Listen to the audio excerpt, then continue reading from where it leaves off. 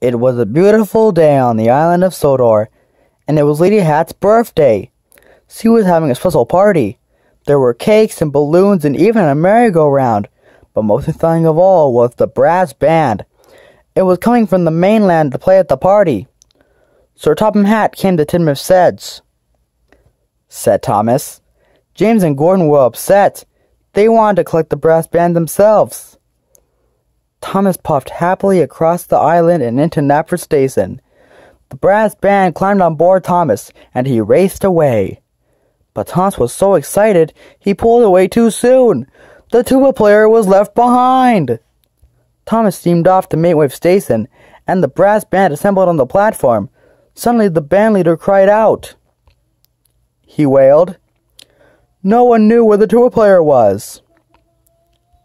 Gasps Thomas. Thomas raced back to Knapford Station, but the tuba player was not at Knapford Station. He was waiting for Bertie the bus. Bertie pulled up beside the tuba player. He asked. Said Bertie. Thomas arrived at Knapford Station and couldn't see the tuba player anywhere. Moaned Thomas. Thomas raced from station to station. He puffed. Bertie had dropped the tuba player off. He called cheerfully.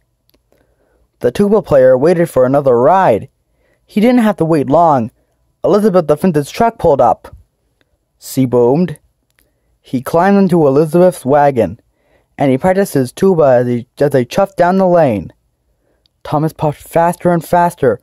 Wherever was the tuba player? Thomas flew right across the level crossing. He didn't see Elizabeth waiting there or the tuba player on her flatbed, and he didn't hear the tuba playing. Thomas moaned. Elizabeth took the tuba player all the way to the mill. She puffed. The tuba player thanked Elizabeth and climbed aboard Trevor.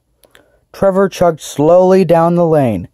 Thomas kept on looking, but the island was very big, and the tuba player was very small. Thomas was behind freight cars and called into coaches.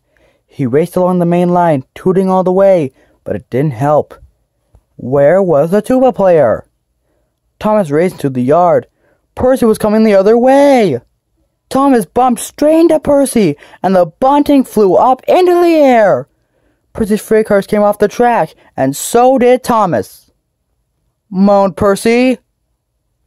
Groaned Thomas. Harvey arrived to put Thomas back on the track.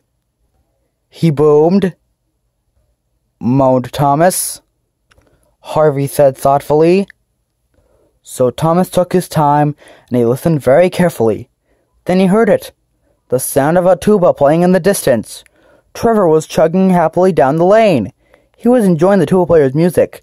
Thomas pulled up. He was pleased to see the tuba player. He puffed. With the tuba player safely on board, Thomas steamed off to Maithwaite as fast as he could. Thomas arrived at the party just in time. The band played beautifully. Lady Hatt was very happy. It was the best birthday party ever.